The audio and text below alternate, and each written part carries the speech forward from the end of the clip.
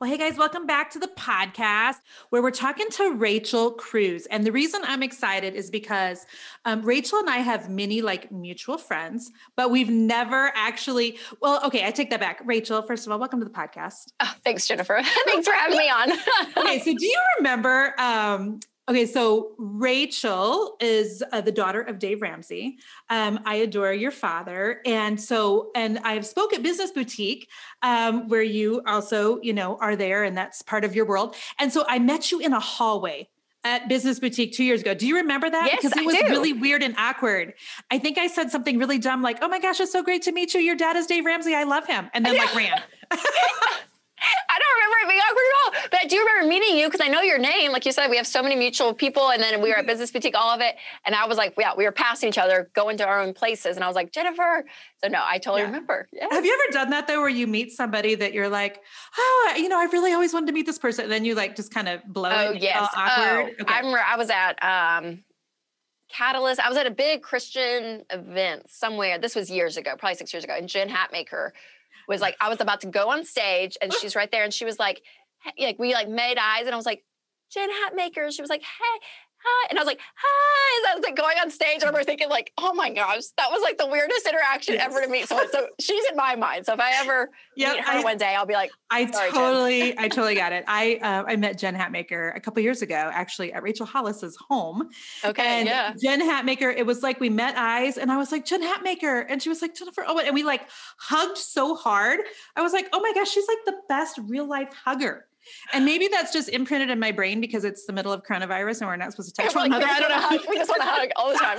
but well, I'm glad to know you, you two have awkward uh, things happen. So Oh, I'm going to sure. read just the tiniest bit of your bio because it's super impressive.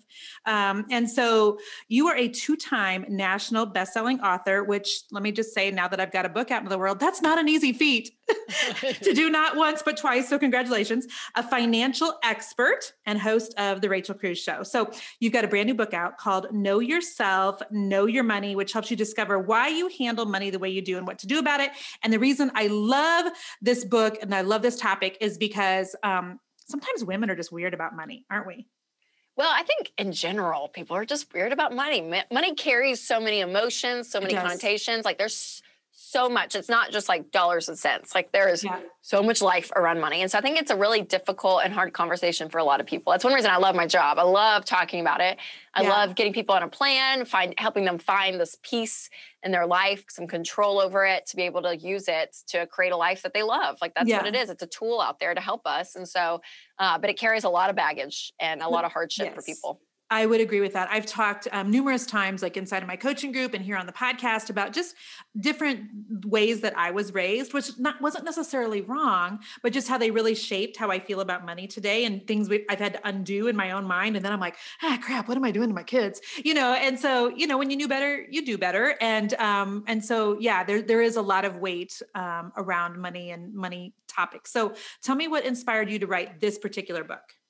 Yeah. So for gosh, 10 years, 11 years now, I've been talking about the how to's of money. So I always talk about, you know, how to budget, how to get out of debt, how to invest, mm-hmm. how to refinance, how to build wealth, how to give, like how to do all these things. But personal finance, it's 80% behavior. It's only 20% head knowledge. So mm-hmm. we can have the head knowledge of the how to, but until your behavior changes, then you're really not going to see progress because you can know what to do, but if you don't do it, it does no good. And so for me, probably about three years ago, I really dove into myself more, if you will. Like I, I remember taking the Enneagram. I was in some Yes. counseling. Okay, and so what's like, your Enneagram? Let's talk about that. I, it's still, it's a journey for me. Every, and I'm on so many Enneagram podcasts, and I always am like, here's my number, but I think I'm still this. So I'm a three, Of course you are. I'm a three. yeah. but I really think I'm a Every seven. three can recognize another three a million miles away. So of course you're a three.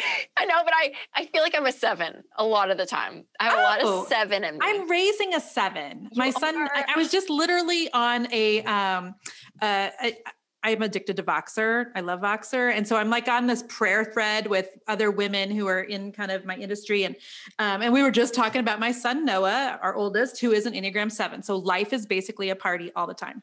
Yes, yes, yes, and I so relate to that. I love it. But I, I, I, I know I'm a three though. I think Yes. seven will be very close. When Yeah. I take the tests usually. Okay. But yeah, so all of that, but it's just right. But when I do read a three, I very Mhm. much relate and all the good, the bad, the ugly of it. Yeah. And and again, and and had have a great counselor. So Winston and I, like we did some Mhm. great marriage counseling about three years ago. And it just, I was like, oh my gosh, like understanding myself was just Yeah. huge. I just became, I have not arrived by any means, but Mhm. just a healthier person emotionally. And I was a better wife. I was a better mom. Mm-hmm. I was a better friend. I mean, like you just can engage at a different level when you understand who you are, and that self awareness is really important. So I kind of was on that journey a couple years ago, and then I was like, man, I talk about money twenty four seven, like it's my job. Yes. This is what I talk about. So I'm like, okay, so why do I handle money the way I do? How does this self awareness? How how does this affect my money? Oh my gosh, Jennifer, it like sent me in this black hole of just like content. I was like, this is a whole new world of personal finance that I never really tapped into ever. And even at Ramsey Solutions, we really haven't. And I'm like, so I kind of see it as I was, I went under the surface. So you can build a strong foundation above, again, the how to of, of how to be wise with your money. But until you understand yourself and going under that foundation, like it's so crucial because if you don't, I think money problems masquerade themselves Mhm. as, or I think real life problems masquerade themselves as money problems. Yeah. So if it's like, yeah, my spouse and I can't get on the same page about money, it's usually not a money issue. Usually there's other issues, right? Like, or I, I I tend to spend and I just get in so much credit card debt. Okay, well, why? Starting to ask these questions to like understand you as a person. And so, yeah, I was like, I have to write a book about this. Oh, Okay. so I just started the manuscript, and that's how Know Yourself, Know Your Money came about. Okay, so I have so many questions. First of all, do you think that most people are married to somebody whose money habits are exactly opposite of theirs? Oh, I find that do you so think true. God does that on purpose It's just unbelievable. No, I'm I. I know. just to be like like, well, Yes. let's see how this happens. I mean, it's unbelievable. And like, and honestly, like with this book, I was like, oh, all these like aha moments Yeah. Happened. And I think you're able to, when you understand yourself better, you're able to empathize with others and your spouse. I wanted the word relationships somewhere in the subtitle of the book. It didn't make it, but like, Yeah. because it's such a big part of it, I'm like, I now have language and I understand Winston so much more now because I'm so aware of why he does the things he does with money. Yeah. And instead of things would frustrate me, now I'm like, no, like it's a tendency he has, it's a fear he has. Like I can name it now and same to him with me. Right. Um, but yes, so amen, hallelujah, opposites all the way when it comes to marriage. so And are you the spender and is he the saver? Yep, I'm Okay. the spender, he's the saver. Yeah. And that's exact opposite in our house. Um, so yeah.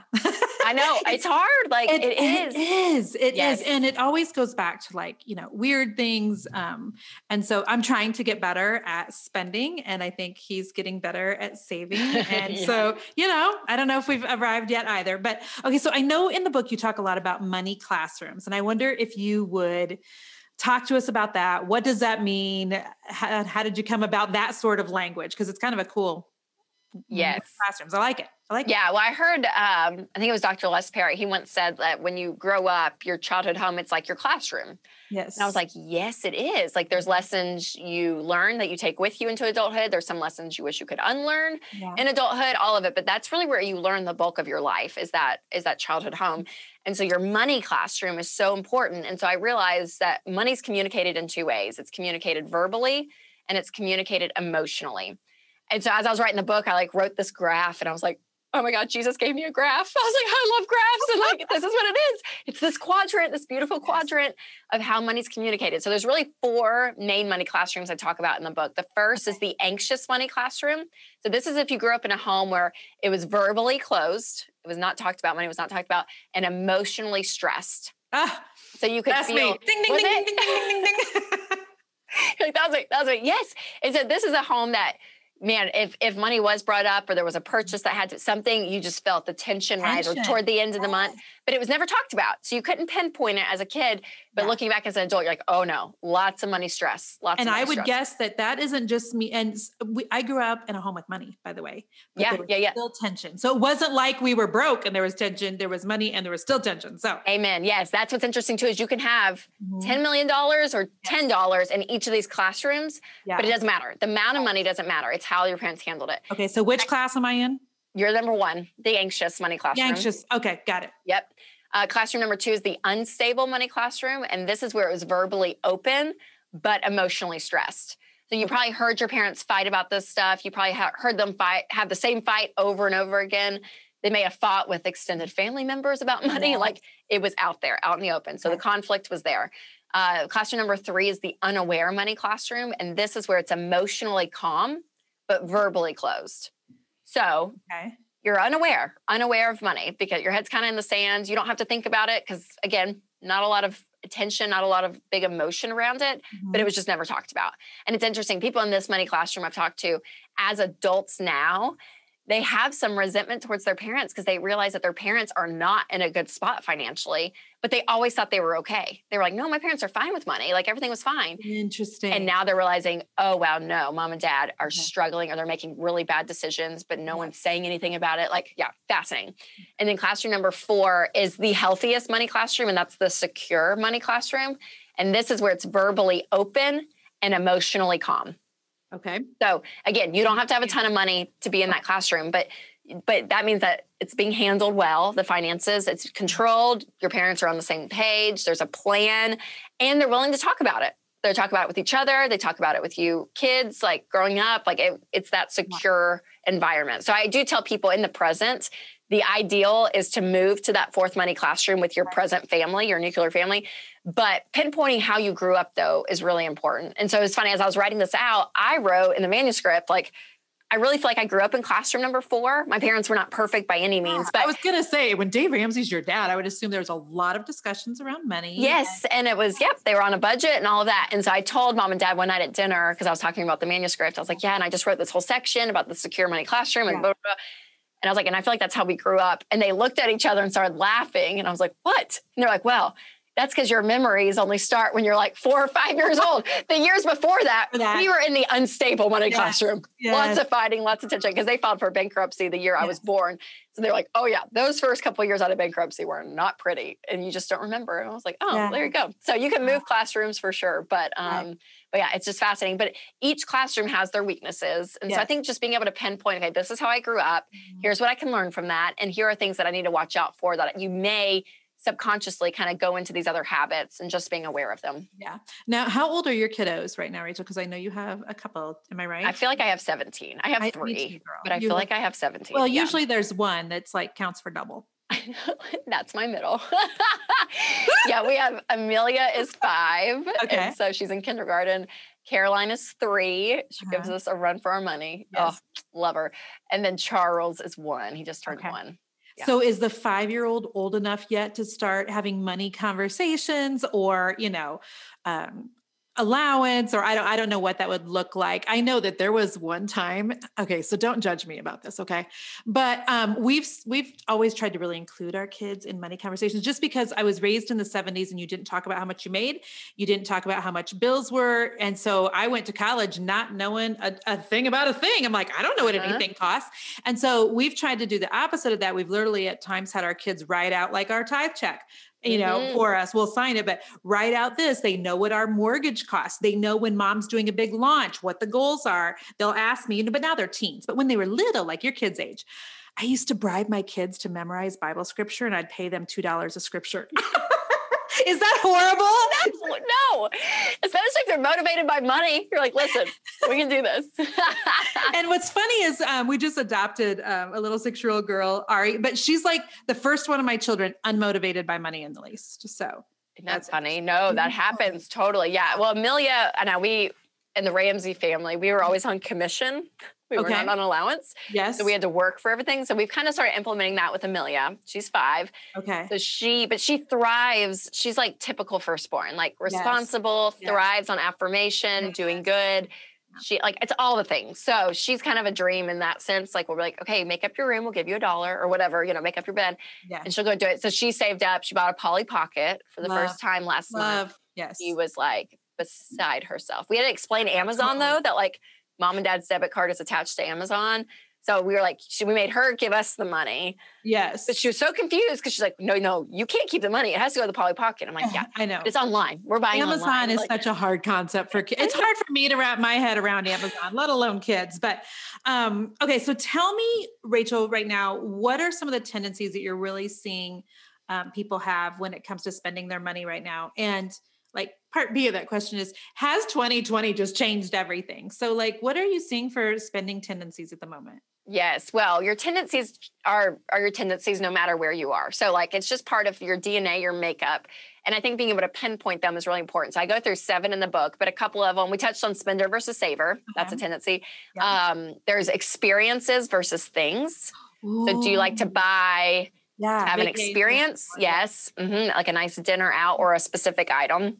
Yeah. And it was so funny. Winston, my husband and I, we got married super young, right out of college. And so that first couple years, we laugh all the time because he refused to buy drinks at restaurants. He just wouldn't. He's like, no, that that glass of wine, I can go buy a bottle water next please. door. yeah, he and he drank water for like two years. We went out to restaurants, and it bothered me all the time. I was like, babe, have a glass of wine with me. Like, I want to enjoy yes. this experience. And now I realize he just doesn't value experiences. Like yeah. he really would rather take that money and go buy yes. something that he can use mm-hmm. and he mm-hmm. feels like his hard work has been put to good use. And so again, we if I just had that vocabulary, that vernacular of, oh, you just That's value so things good. more than experiences, yes. it would have helped my frustration. Yeah. Um, there's another one of quality versus quantity. Okay, I love this because my husband is probably he would spend money more on quality items, and I'd rather get four shirts that are twenty bucks each. Girl, we're the same. Me too. No. Yes. Like my earrings, I'm like, give me 20 pairs of cheap earrings. I, I know he's been like, Do you want would you like some really nice diamond earrings? I'm like, absolutely never. No. Do not buy me other than my wedding ring, like don't buy me fancy jewelry. Take me to France. Yes. But, but just buy cubic zirconia is fine. That's right. That's exactly how I am. Where Winston's like, he just like, I need two nice pairs of jeans, and that's all I need. I'm like, mm. no, I'll go to I'll go to Loft, Ann Taylor right. Loft, and buy a bunch of like 75% yes. sales and just yes. rack up. Uh, another one is abundance versus scarcity. Okay. Tell me about that one. What's so that? your mindset either with money is there's a there's an unlimited oh. amount. We can all there's always more opportunity. Yes. There's always more to get. It's fine if we spend here. It's it's going to be okay because there's always yeah. more opportunity. We're scarcity mindset. They're a little bit. They're more planners. They think through purchases more. There's a level of security that they're like, you know what, I would just rather I'd rather wait and see yeah. how it plays out. And just yeah. So people again, not right or wrong, just kind of how you're naturally wired. So I'm more abundance. Me too. Winston is more scarcity. Yeah. Uh, can we both be the same thing in a marriage? Because I'm thinking yeah, both yeah. my husband and I are like, yeah, there's plenty. We just have to figure out how to get it. Yes. you oh, know oh, what I mean? both so. of us. Yeah. Yep. Yeah. Totally. Okay. Awesome. So tell me, is has 2020 changed any of these tendencies? Are people moving around? Or, um, I mean, I just feel like 2020 has kind of changed everything. Oh, it's changed so much. Yeah. Well, again, these tendencies are naturally just who you are. Like if you think yes. back to you as a kid, like where yeah. you just naturally were bent. But I think it's changed the way we look at money for sure. Warren yeah. Buffett always says that when the tide goes out, you can tell who was skinny dipping. And I love funny. that picture because I'm like, it's true. Like when that, like hilarious. the we felt it through the recession, we felt it through 2020, mm-hmm. and I mm-hmm. think what it did, it just shook people up to say, okay, I never again want to have this moment of fear because there was a there was so much fear, right? The the financial fear, the health fear. I mean, there was just so much in 2020, yeah. and so whether you were you did lose a job or you were furloughed, or you had the fear that it was going to happen to you, like it just was rampant. And so I think it really took people back to like, okay, people could kind of cover their money mistakes really well in the past because yeah. everyone was doing great, making good money, you know, economy was booming, all of that. And then when it halts, it really lets you see, okay, how are we really doing? And yeah. 40% of Americans that can't cover a $400 emergency in cash. So a lot of people wow. are just in this 40%, place where say that again. 40%, 40% of Americans can't cover $400 a uh, $400 emergency in cash. And so this living paycheck to paycheck, having no savings, it, it worked when it worked, but when yeah. suddenly the money stopped, like, so I just, my prayer for it is, uh, you know, obviously through 2020, I did so many interviews helping people get on a plan to like help them mm-hmm. in this, but I do want it to be a wake up call. I hope it did shake off some of the bad habits that we all had with money and really kind of grounded us to, okay, what are things that we need to do to set ourselves up well? Yeah, that's so so good. Okay, so um my book Fear's Not the Boss of You came out in the spring and obviously the topic was completely fear. Yep. And so I know you talk about in your book um fear and how it holds us back a lot of times with money. So tell me more about that. How does fear um, is it just fear that we're not going to have enough or fear that we're, uh, because it's interesting how years ago when we were broke, when I called your dad on the old 800 number years ago, you know, and I was like, what do we do? Do we drain our 401k? We had just, um, we had Jason had just lost his job right before Mm. Christmas. Our babies were all little, and he didn't get like his fourth quarter bonus and his end of the year bonus, and um, and the and the housing market had just tanked, and I was attached my job to the housing market. So anyway, um, so I remember then there was fear for me and Jason because we didn't have enough. Yep. And then as life has shifted and and now we're in a complete, you know, totally different place financially. The fear is now more, oh Lord, I hope I don't lose it all. You know what I mean? And I'm like, yeah. we get to a place where we're just like, it is what it is, and there's no fear wrapped in it. So tell me about that, the fear and money and what you talk about. Yep. No, it's great. Well, there's six money fears I walk through. So one of them is that financial insecurity that if something happens, are we going to be okay? You know, Mhm. there's that fear. Um, there's a lot of fear of I don't want to end up like my parents. Yes. I've heard that fear. Um, the fear of I can't live out my dreams. That like you're getting to a place in your life, you're like, wow, I only have X amount left and of life and money, and it's just not panning out the way it was. Uh, the fear that extor- external forces, if you will, are going to affect me. So government or corporate America or like all these other things are gonna are gonna keep me from living my life. I mean, yeah. So there's six of those big fears. But the interesting thing about fear, and I want your take on this because you wrote a whole book on it. Yeah. I was talking to Dr. Chip Dodd about it, and he talked about how fear can be such a gift, though. Mhm. That there's moments where where Yeah. fear literally is your body's response saying, "I need help. I'm in need." Yes. And so when it turns into anxiety, like it gets real bad, real fast, different. very unhealthy. Yeah. But to say like, yeah, there's a bear running at me, you're gonna have fear. So what God do I need to do? that fear on purpose. Yeah. That's like, right. Yes. the edge of a cliff, or my kids do. I want them to feel fear, and right. hopefully they'll back on up. Yeah. So that sort of fear is is yeah, I think a gift from God in order to keep us alive. Right. So I think applying that mindset to money and to say, okay, if you have these financial fears, mm-hmm. the things that keep you up at night, what are things that your body's response telling you things need to be different? What do you need to put in place to help with that? Maybe it's tactical, maybe it is an emergency fund. Because what if something does happen and you lose your job? Yeah. There's a chance that yeah, it could get really bad really fast. So what what safeguards do you need put in place there? Um, if you owe a bunch of debt, maybe you start working your way of paying that off. Like like what are things you can put in place? And then there's the emotional side, and it's exactly what you said, which I loved.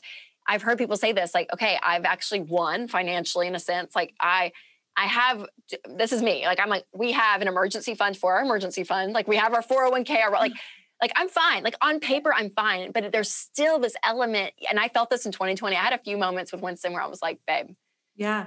what if? What like we don't know. Like, especially Yeah. April, it was like, what is happening to our world? Like, Yes. are we gonna be okay? I mean, yeah. So like no amount of money I've realized for me, I I put too much security in it.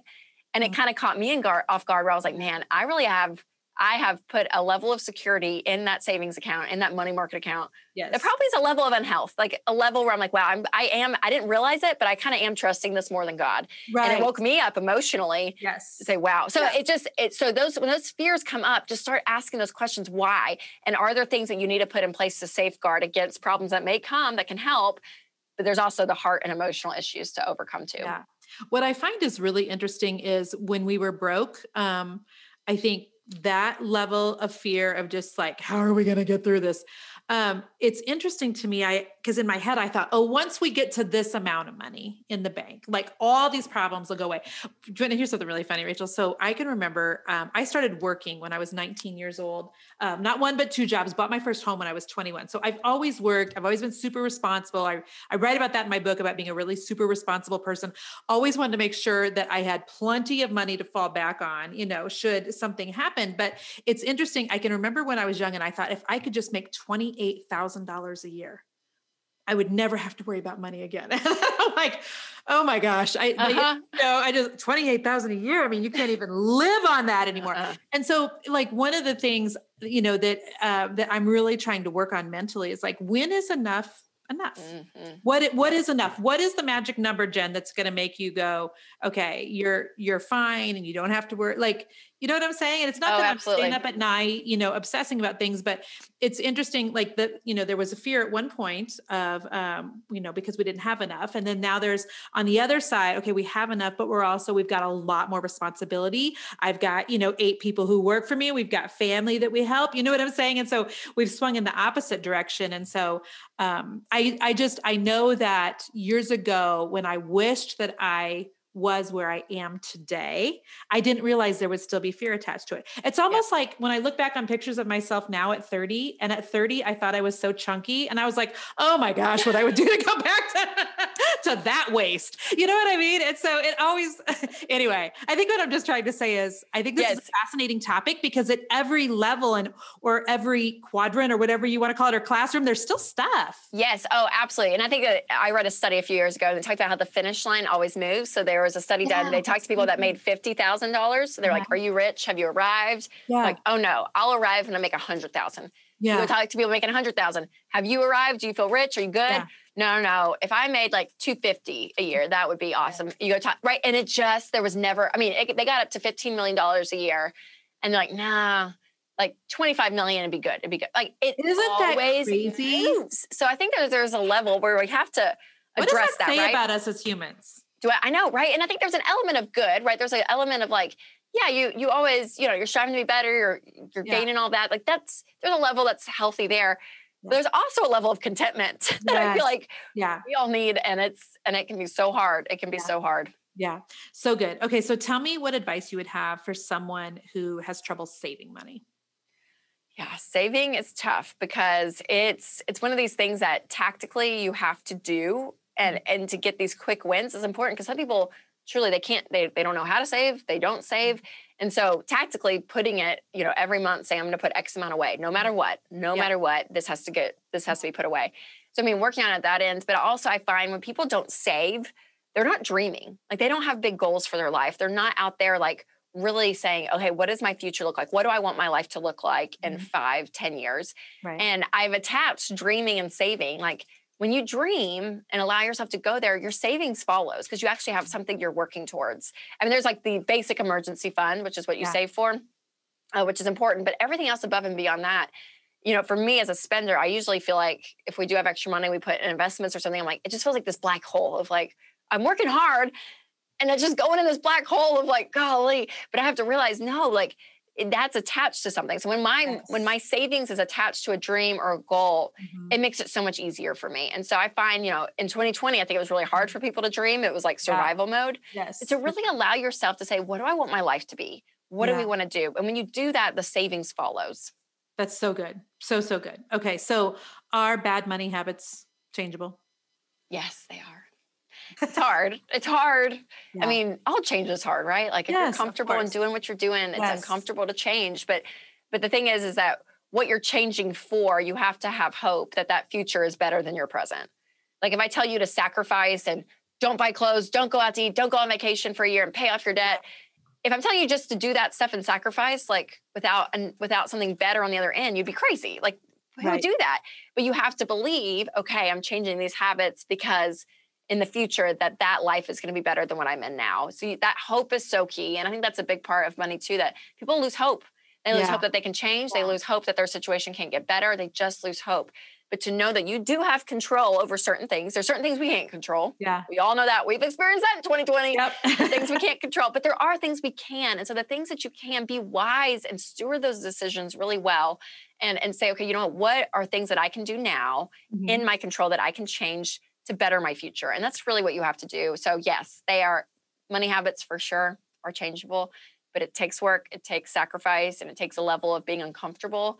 But that's a good thing. Yeah, for sure. Okay, so I'm going to put you on the spot. Um, and not going to ask you to make any predictions, but how do you see, you know, things going economy wise in 2021? Is there? Mm. Well, it's funny because after uh, the election, whenever that date was. Yeah. But like when they announced, like 20 years ago now. I know, I know, it's crazy. But like the market shot up with like the vac, you know, the announcements oh. of the oh. vaccines, all of it. So I'm like, I, I mean, I'm the worst at predicting. Like in 2020, I had a, I was on a podcast in May, and I literally said, I think by like July 4th, like stuff is going to start getting back to normal.